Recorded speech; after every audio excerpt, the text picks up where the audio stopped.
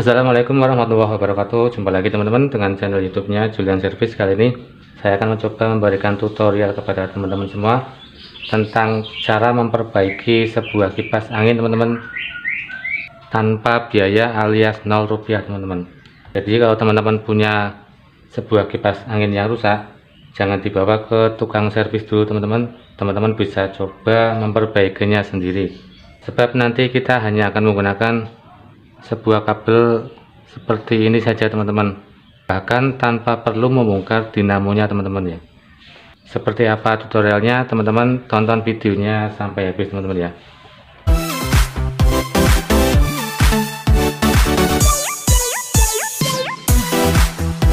Pertama-tama kita bongkar tutup belakangnya ini dulu teman-teman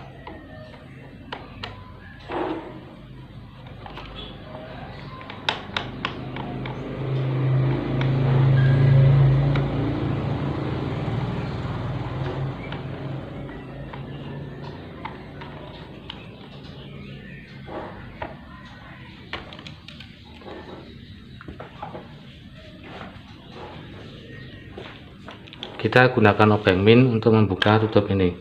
Kita congkel di bagian yang ada klepnya ini teman-teman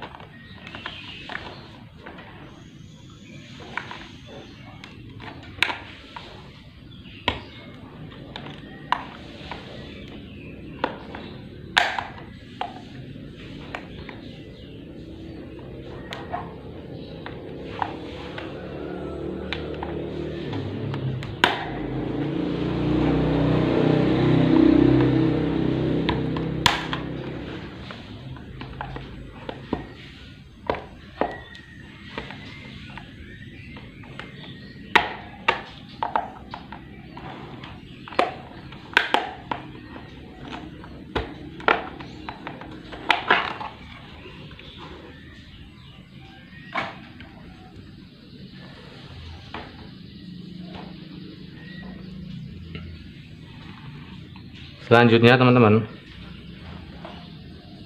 Kita buka bagian kabel ini. Menggunakan cutter ataupun sejenisnya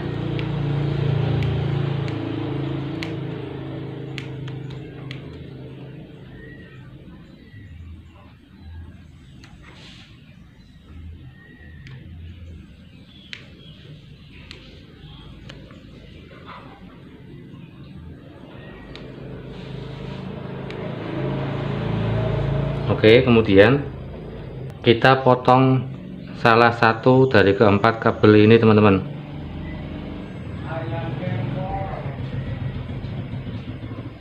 Kalau teman-teman belum tahu kabel yang mana harus dipotong teman-teman perlu membongkar bagian tutup ini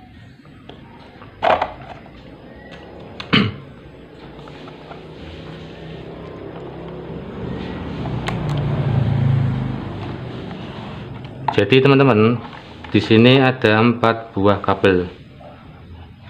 Untuk tiga kabel ini merah oranye dan abu-abu ini untuk kabel speed. Sedangkan untuk kabel yang warna biru ini itu untuk kabel powernya teman-teman ya. Nah kita potong kabel biru ini teman-teman. Tapi lokasinya di sini. Kita potong kabel warna biru teman-teman Oke seperti ini. Selanjutnya kita kupas kabelnya teman-teman.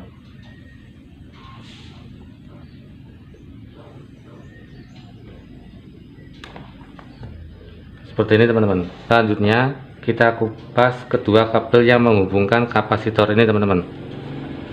Nggak usah dipotong teman-teman. Cukup dikupas saja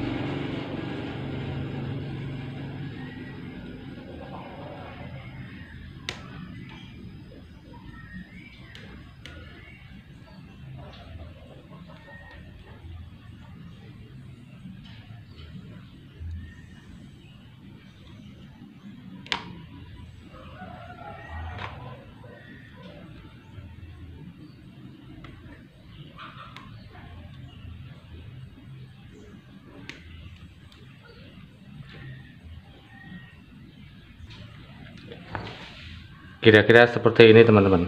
Kemudian kita gunakan potongan kabel yang sudah kita siapkan tadi teman-teman.